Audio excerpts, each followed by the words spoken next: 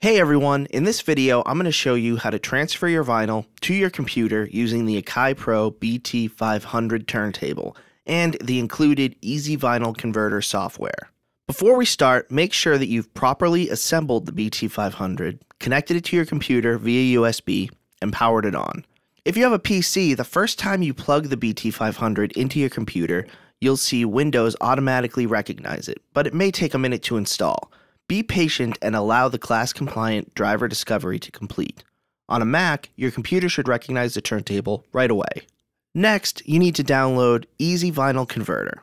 Open a web browser on your computer and visit www.akaipro.com slash software download. This page gives you everything you need to register your product and download the included software. We recommend registering your product, but you do also have the option to download EZ Vinyl Converter from the BT500 product page on the Akai website. Just click the link for the version that you need, Mac or PC. If you already have an account with us, log in by clicking the link here. If you don't have an account yet, click the link below to create one. Enter the requested information and follow the steps to finish creating your account. Once you're done, log in and download EZ Vinyl Converter for Mac or PC, depending on what kind of computer you have. Remember where you downloaded the file to and double click the icon. Follow the instructions to install the software. This should only take a minute. If you're on a Mac, the installation screens will look a little bit different than this, but it's mostly the same. Just follow the prompts and allow installation to complete.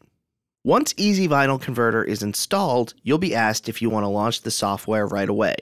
You can uncheck this box if you don't want to start right now, but we're on a roll, so let's leave it checked.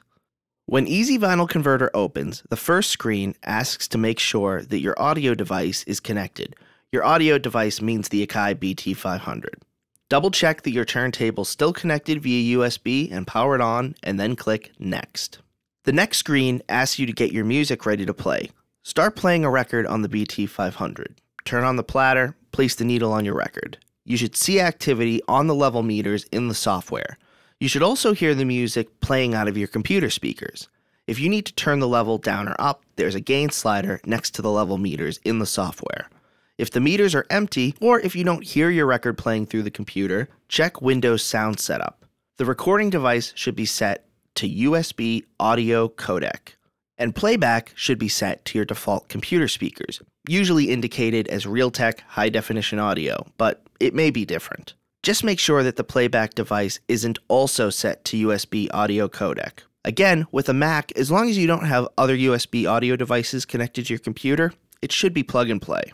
With your settings adjusted correctly, you should be all set. Before you press record, select whether you want EZ Vinyl Converter to split up your tracks automatically or if you'd like to do it yourself during recording. EZ Vinyl Converter can automatically split tracks by detecting the silence in between songs. It usually works really well, especially on pop or rock records, but on material where the pause between songs isn't as obvious, such as spoken word or live recordings, you'll likely want to separate the tracks yourself. Let's do that and begin recording. During recording, you'll see the recording time and the track number. To create a new track, just hit the New Track button the recording resets as well as the timer.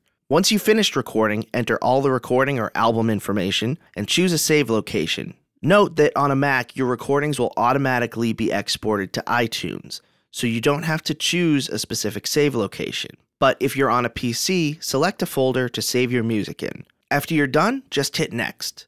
The final screen will ask if you'd like to record something else, open your saved folder location, or simply close EZ Vinyl Converter. I'd like to see my files and listen to what I've recorded right away, so I'm going to open Save Location.